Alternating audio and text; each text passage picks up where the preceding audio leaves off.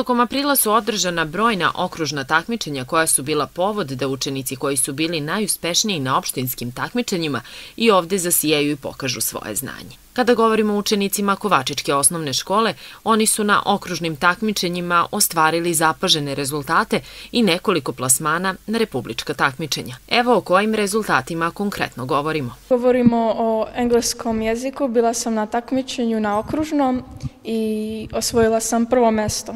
Bio sam treće mesto na okružnom iz istorije.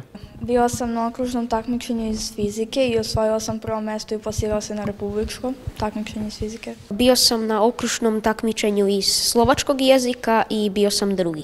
Ostvario sam prvo mesto na regionalnom takmičenju iz slovačkog i takođe taj isti dan bio sam na pokrajinskoj smotri iz recitovanja i e, postupio sam dalje na republičko takmičenje i slovačkog i iz e, recitovanja. Mi smo u petak, znači imali regionalno takmičenje iz slovačkog jezika ovde kod nas. Takođe smo istog dana, znači u petak, imali pokrajinsko takmičenje recitatora u Sečnju, gde smo takođe imali naše predstavnike recitatore, e, konkretno troje njih, devojčicu Hanu Hrješikovu, e, Petakinju i sedmake Mateja i Milana Hrk, e, koji su se plasirali sa okružnog takmičenja u Sečanju.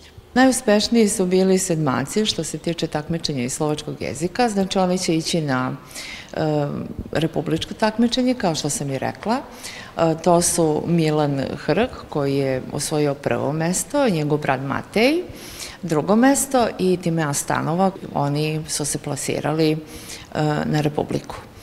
A što se tiče recitatora, Milan e, Hrk je ove godine takođe, znači prošle godine se takmičio na republičkom takmičenju i osvojio e, zaista sjajnu drugu nagradu. E, ove godine takođe dobitnik je zlatne plakete na pokrajinskoj smotri u petak i očekujemo znači da ćemo polovinom maja ići u Valjevo na republičko takmičenje recitatora Srbije. Deca vole istoriju, znači vole istoriju, puno treba da se uči maltene ceo učbenik, istorijski izvori treba da se čitaju, analiziraju, traže se detalje.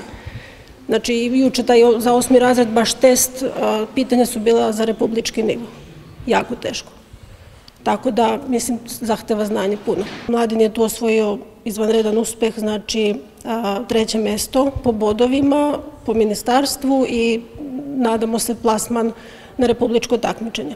Ponosna sam na svoje kolege i svoje učenike, nekako ovaj april smo dočekali sa ogromnim i entuzijazmom. Posle dve godine održana su neka takmičenja i pripremali su se što o čemu govore u stvari i rezultati.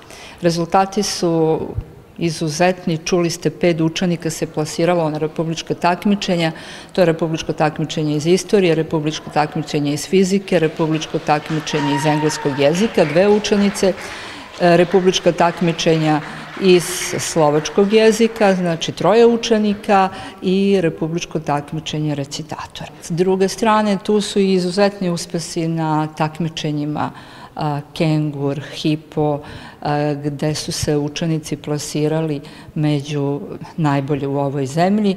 Osim toga, tu je opštinsko takmičenje, odnosno opštinska smotra folklora, orkestra, horeva, svi su ovaj, se plasirali na zonsko takmičenje, opštinsko takmičenje šta znaš o saobraćaju, znači Kovačica je bogatija za dva bicikla, opštinsko takmičenje šta znaš o zdravlju, takođe treće mesto, pored toga opštinsko takmičenje iz biologije, dva prva mesta u petom razredu, e, onda treće mesto u petom razredu, prvo i treće u šestom, prvo mesto u sedmom, razredu i treće mesto u osmom razredu. Znači, izuzetni uspesi, o tome mogu vaši gledalci da se informišu i na našoj Facebook stranici.